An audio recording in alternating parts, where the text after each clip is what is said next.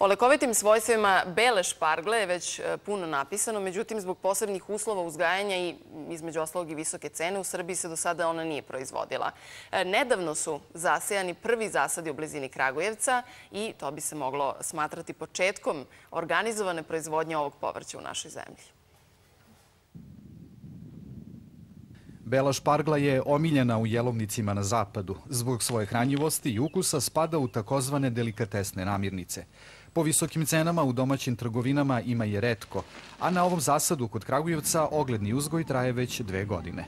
Ona kreće u, ovaj, u aprilu da se, da se bere. I na svaki tri dana ovaj banak može da se bere. Prosječan prinos u punom rodu je 5-6 tone po hektaru. Ovaj, sad nama je ovo kao prva godina branja, pa nekih tonu je po hektaru. Priprema špargle je vrlo jednostavna. Nakon branja ne zahteva posebnu obradu i moguće ju je pripremiti i poslužiti na mnogo načina. Špargla dobro oljušti, kuva se 3 minuta, 3-4 minuta i to je sve. Posle može pečene na roštilju, rolovo nadbiti sa pržena na maslacu. Uzgoj bele špargle postaje isplativ tek nakon treće godine kada je u punom prinosu. Ulaganja u zasade su u nivou uzgoja domaćih jabuka, pa je za početak proizvodnje potrebno najmanje 30.000 evra.